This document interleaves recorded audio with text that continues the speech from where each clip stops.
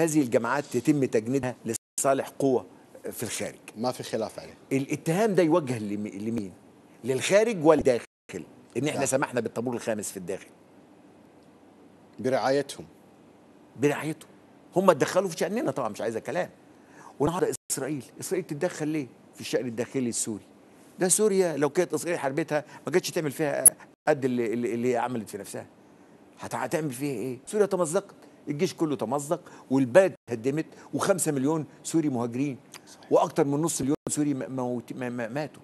تقول لي حرب إيه؟ 67 قول لي في التاريخ الإنساني حصل حرب بالتدمير اللي حصل في دولة عربية زي اللي حصل في سوريا؟ ده لما حصلت فلسطين في 48 ما حصلش اللي حصل في سوريا.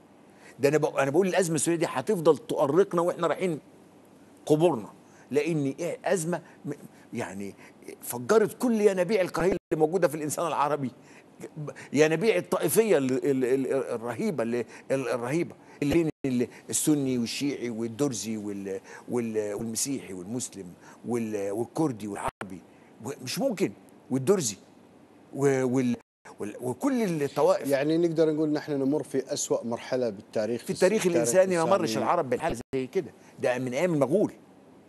إحنا ما شفناش ما شفناش. حتى أيام الاحتلال حتى البريطاني الاحتلال لا والفرنسي. لا لا لا الاحتلال البريطاني كان رؤوف رحيم معانا بالنسبة لل... للينابيع الكراهية اللي تفجرت في العالم العربي الآن والتي سوف تتفجر.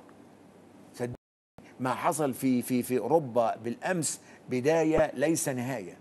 وهذا هيحصل هنا أشياء كبيرة جدا. زين أنا بروح من